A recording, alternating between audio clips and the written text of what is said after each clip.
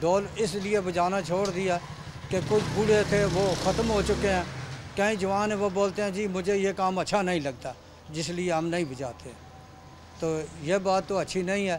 میں تو شروع سے بچپن سے بجاتا ہوں اور ابھی بھی بجاتا ہوں۔ کمی تو ضرور ہوتی ہے، لیکن پھر بھی وہ لوگ جو ہے نا بولتے ہیں کہ بھائی، نہیں، مجھے یعنی نہیں یعنی موبائل سے کوئی صبر نہیں آتا ہے۔ آپ لوگ آیا کریں اور ادھر ڈھول بجائیں اور ہم لوگ جاگ جاتے ہیں اور چھوٹے چھوٹے بچے ہیں، وہ بھی روزہ رکھتے ہیں۔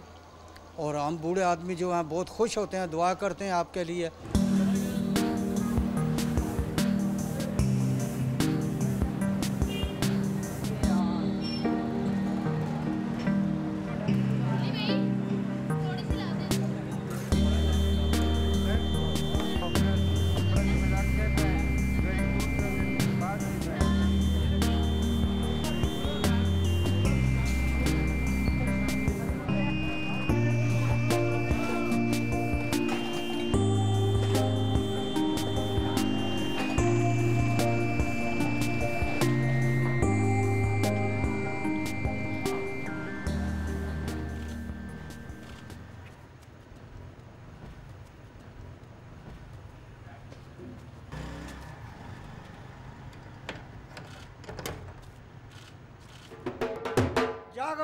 یا روزے دارو جاگو۔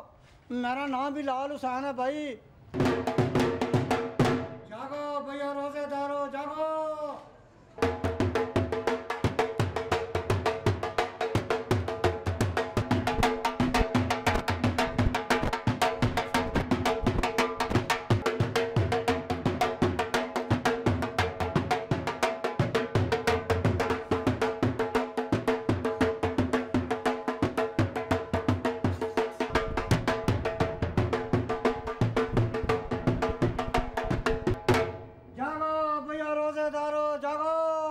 میرا نام بھی لال حسین ہے بھائی۔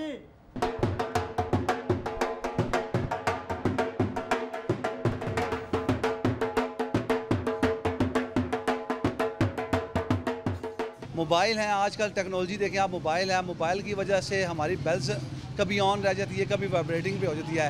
لیکن ڈھول کا جو رقص ہے جو ڈھول کی آواز ہے وہ پراپر ایک چینل جو دو بجے کا ٹائم ہے اس پہ جب ڈھول ہماری گلی محلوں میں آتا ہے تو ہمارے اباؤ اجداد جو ایک ثقافت چلتی آ رہی ہے اس سے آج بھی ڈھول کا مزہ ہمیں اسی طرح ہی آتا ہے۔ لیکن یہ جو ہمارے قدیم علاقے ہیں نا شہر کے کنجسٹڈ علاقے اس میں تو ڈھول کا کنسیپٹ ابھی بھی پایا جاتا ہے۔ وہ اس لیے کہ اس سے فائدہ یہ ہے یہ موبائل اور یہ جو بیل سسٹم ہے اس سے اتنے لوگ نہیں اٹھتے۔ اس کے کردار کو میں بہت اچھا سمجھتا تھا۔ وہ ہماری قدیم روایت تھی۔ ایک شہری کا اپنا ایک مسئلہ تھا، وہ جب وہ ڈھول والا آتا تھا، وہ ہمارے دلوں میں مقصد آج بھی وہ بات آتی ہے، لیکن اب وہ چیزیں ختم ہو چکی ہیں۔ وہ ہمیں سننے کو، کہنے کو ہمیں مل ہی نہیں رہی۔